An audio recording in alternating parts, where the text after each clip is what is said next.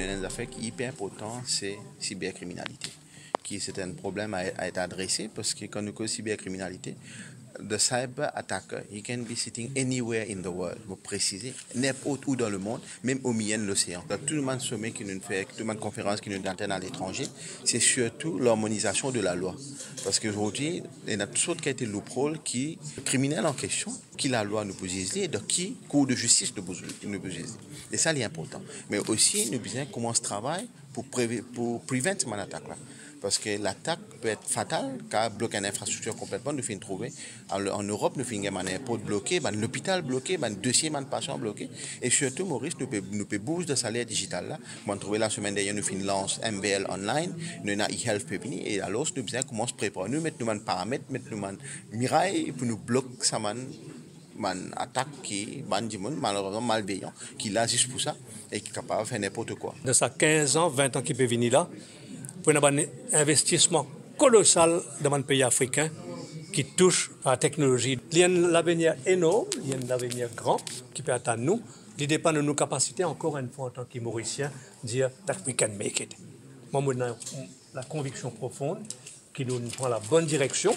Là, le ministre pas encore d'y aller, mais nous, finissons par une stratégie digitale qui peut venir la Conseil des ministres prochainement et qui ministre peut implémenter.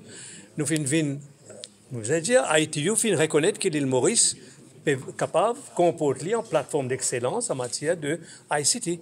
L'Afrique aussi peut dire, donc, en même temps qu'il nous peut bouger, nous peut gagner de plus en plus de reconnaissance dans l'institution mondiale qui Maurice capable de jouer un rôle capital lorsqu'il s'agit de l'avenir de la région. Nous spécialisés dans tout ce qui appelle sécurité informatique et bien sûr tout ce qui est euh, transfert de données. Ça veut dire mouvement d'information depuis un point jusqu'à un autre point. Et donc aujourd'hui, bien sûr, mouvement d'information implique qu'il besoin connaître euh, qui est qui est capable d'intercepter cette information-là et qui peut recevoir l'information-là euh, de, l'autre côté aussi. On assisté beaucoup à une organisation bancaire, on beaucoup à une compagnie privée optimiser une bonne infrastructure, pour donner une visibilité dans ce qui peut passer dans notre réseau. Euh, comme on le connaît aujourd'hui, il y a beaucoup de euh, risques en dehors du business. Mais même à l'intérieur de mon business aujourd'hui, il y a un risque que l'organisation peut bien faire face. Et donc, nous donnons une compagnie, un outil qui besoin pour que capable même euh, protéger notre périmètre interne.